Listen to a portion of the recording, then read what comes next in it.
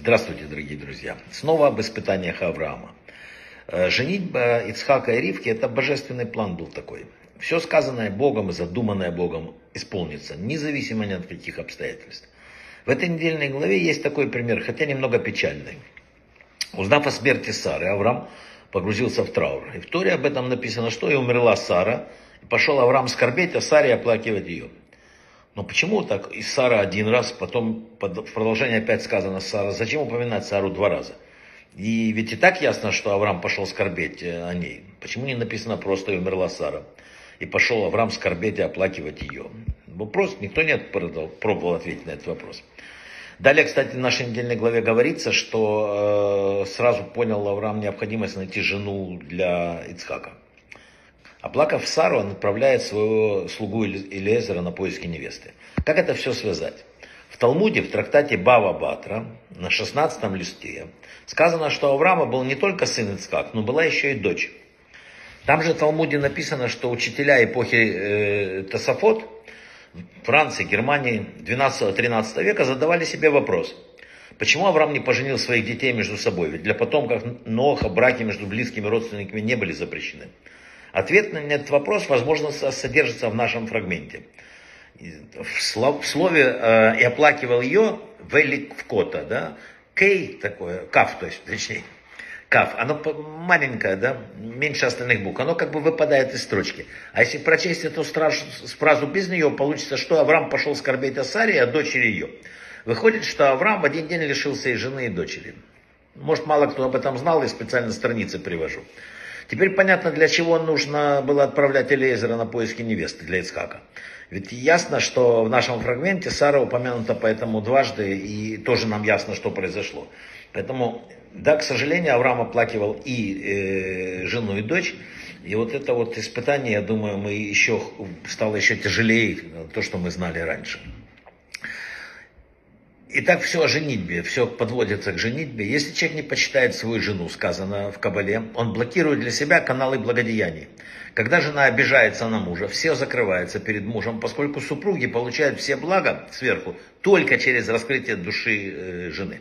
Если у мужа есть обида на жену, она тем более закрывается источники благословения. Вообще, создавая семью, муж и жена прекрасно понимают, что каждый из них рос, воспитывался без оглядки на партнера и разный достаток, эмоциональное развитие, уровень, уровень образованности часто разный. Поэтому людям надо подстраиваться друг под друга. Э, великий Равин Зеев Плишкин, который много писал об этих вопросах, вывел 10 правил удачного брака. Первое – это сосредоточьтесь на том, чтобы отдавать, а не брать. Если ваша цель подарить радость партнеру, вы всегда найдете способ достичь этой цели. Вы только выиграете от этого, поскольку людям свойственна ну, взаимность, и даже если она проявляется не сразу. Второе – это постарайтесь сохранить молчание, даже если ваш супруг, ну, скажем так, обижает вас. Игнорирует, э, если вот любое оскорбление, вы предотвратите много ненужных слов и когда все пройдет, можно ставить все на место. Третье, откажитесь от необоснованных ожиданий. Люди часто вступают в брак для того, чтобы ожидают слишком много, нафантазируют себе. Отказ от нереальных надежд, вот он предотвратит чувство неудовлетворенности, гнева. Не ждите, что ваш партнер будет идеальным, и не сравнивайте ни в коем случае его с другим. Четвертое, что сказал великий Равин, не спешите клеймить то, что вам не нравится. Постарайтесь взглянуть на все с другой стороны. Пятое из этого такого большого списка. Подумайте, как сделать так, чтобы ваш партнер захотел выполнить ваши просьбы. Если первая попытка провалилась, ну идите дальше, ищите другую стратегию. И помните, что э, тактичная похвала это самый лучший стимул. Шестое. Э, никогда не выпускайте из виду основную цель. Счастье в браке. Если пока что-то не получается, пересмотрите свой метод коммуникации, измените подходы. Но надо помнить, что счастье главное. Всем Будьте готовы к компромиссу. Проявите желание сделать что-то, что, то, что вы не хотели. Надо искать компромисс.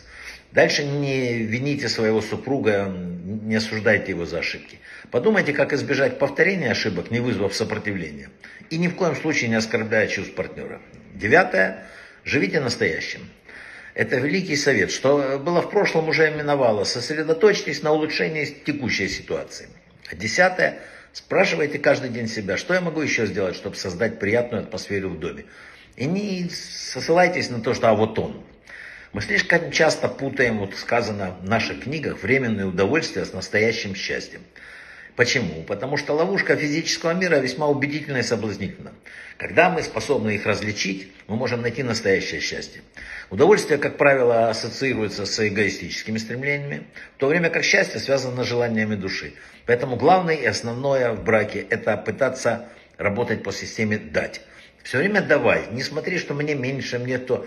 Дай, и ты обязательно выиграешь эту, ну, скажем так, э, как сказать, не, не, не битву, да, не дай бог, а как бы вот эту работу.